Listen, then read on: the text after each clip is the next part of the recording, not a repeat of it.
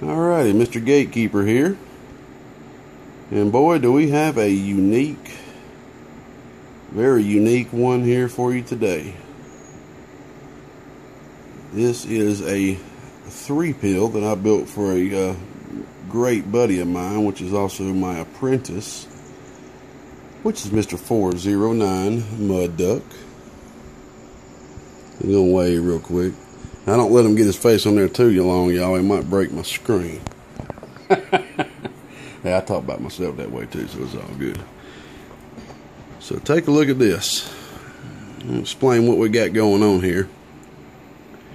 I know y'all know I've been playing around with some metal, all metal capacitor builds here lately, and uh, here's another one. This is a one driving two 2290 driving two 2879s. They are all non-dots. I tell y'all what, if y'all want them non-dots, y'all better get them while you can because they ain't going to be here much longer. And I bought them just right before they went up. I only paid $81. Yeah, you got lucky. He didn't have to pay 65 each for them two, uh, 2879s. He got lucky. But anyway, basically he got this uh, heat sink customized up there at uh, ICA the uh, great fellows up there at ICA and uh, basically what he did is he got the heat sink enlarged for this project. So instead of it being a little smaller and having a little the, the board overhanging more there's no overhang at all. So these wires that I would normally run up under can't be done. But you know, it's actually a pretty smart move on his part. So he's got more heat sink, more heat dissipation, and all that good stuff. But uh, and like I said, man, this is all metals, man. Every single thing that's got to do with tuning in this thing is metal. Take a look at the in between section right here. I mean, it was kind of rough getting them jokers in there, but we got them in there and got this thing fine tuned for them. I'm gonna go ahead and uh, move on to the output of it because uh, we don't have much time on the recording here and uh, just got your basic preamp and got a sideband delay right here out back. And uh, yeah push button.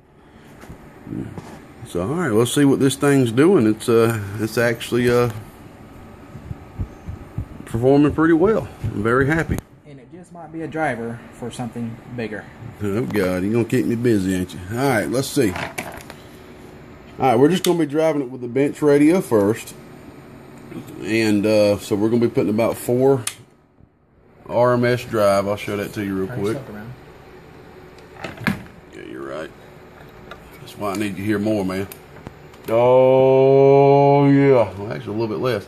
Oh, yeah. So it's a little bit under four bird. So we're going to put about three, three and a half watts into it. RMS, which is about 1820 PEP. Alrighty, we're on the 1000 watt slug as usual. Okay, variable is all the way up as well. Oh, yeah. Alright, that's right there about 180, 190. Oh, yeah. Alrighty let you take at the input tune. We gotta hurry up. We're about to run out of time. Let's take a look at the input real quick. Oh yeah. Perfect input tune. Alright, we're gonna switch over to the hot. Appreciate it, man. Like I said, man, you need to get here more often while I'm doing these videos. well, I do work a regular 9 to 5, and I do yeah, I know you do, big brother. Alright, we're going to turn that off. Hang this cat picker up so it won't fall on the ground like I always like doing. You want to key it for me, man? No, thank you. It's all right, all right. Your build. All right, here we go. No. Oh, that's hitting about 240, 250. Oh, my voice is messing up. Key it one time for me, man. Oh, yeah. Getting on down. Oh, yeah. All righty. Let's go ahead and flip it over to PP really quick like. We're about to run out of. Oh, alrighty, that's 500 watts, about dead nuts on, as one of my buddies out there says. So that's right there within the specs. Good. We got it on that. Uh, uh it's about a 70 amp switcher, and uh, if we threw it up on this hundred right here, uh, she'd she'd be up about probably about 600 watts, probably cruising about 260 RMS. But uh, she's working good, man. This is the first time she's been keyed, man. You get it broken in pretty good there, and uh, shoot, man, you probably be cruising about 250 RMS with how he's going to be driving it.